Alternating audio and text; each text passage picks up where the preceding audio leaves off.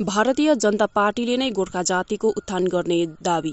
Bharatiya Janata party च्याङ्गाबुथ कमिटिका शरण थापाले गोर्खा जातिको हितमा केवल भारतीय जनता पार्टीले कार्य गर्न सक्ने दावी गर्दै भारतीय जनता पार्टीले चुनावमा विजयी बनेपछि अवश्य नै गोर्खा जातिको एघार जात गोष्ठीलाई जनजातिको दर्जा प्रदान गर्न साथै पीपीएसको मुद्दालाई फत्ते गर्नेछ भनी बताएका छन्।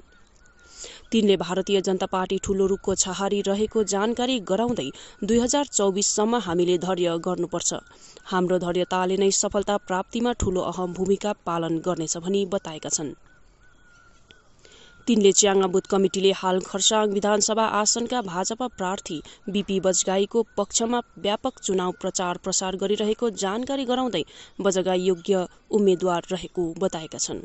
तिनले विगतका दार्जीलिङ पहाड़का क्षेत्रीय दलहरूले केवल कुर्सीको राजनीति गरेको अनि जनतालाई भने जस्तो सुविधा प्रदान नगरेको अभियोग लगाउँदै च्याङ्गामा पनि धेरै काममा भ्रष्टाचार भएको अभियोग लगाएका छन्।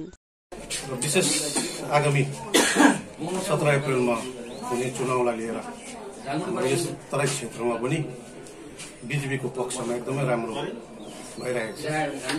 र हामीलाई पुरा विश्वास छ यस क्षेत्रबाट राम्रो बहुमत नै जान्छ भन्ने।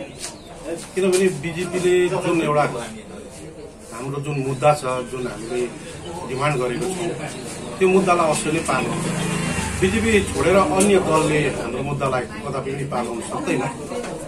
र अहिले पहाड अनि तराईको जनताले बिजेपीमाथि एकपल्ट विश्वास गर्नु नै पर्ने यो समयको माग पनि हो। किनभने अहिले हामी क्षेत्र दल भन्दैछौँ र क्षेत्र दलले छ्यासीदेखि नै क्षेत्र दलले एउटा राज पहाड अनि तराईलाई राज गरेर आएको नै हो र यो मुद्दा पार लाग्न सकेन। र अहिले विभिन्न पार्टीहरूले क्षेत्र दल बचाउनु पर्छ भन्ने कुरो छ। र क्षेत्र दल बचाएर के भएको छ?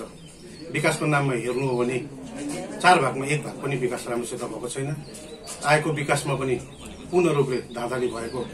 हाम्रो यो चेगाको बाटो जुन छ दुई करोड नब्बे लाखको बाटोले नै दर्शाइराखेको छ।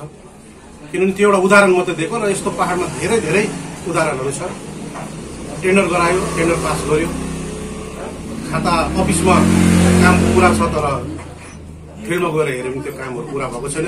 त्यसलाई नै डबल टेन्डर गराएर फेरि अर्को योजनाहरू गरेको पनि उक्त प्रमाणहरू पनि आज त्यो पाइराखेको छ।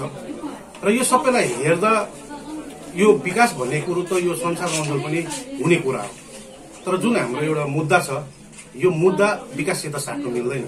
यदि हाम्रो स्थायी समाधान भयो भने विकास त चार गुणा बढी नै यस क्षेत्रमा तराई अनि पहाडी क्षेत्रमा यो विकास भन्ने कुरो राम्रो भएर जान्छ। साथसाथै बेकारी समस्याको पनि जुन एउटा समस्या छ। त्यसलाई पनि केही हदसम्म समाधान हुन्छ भन्ने हामीलाई विश्वास छ।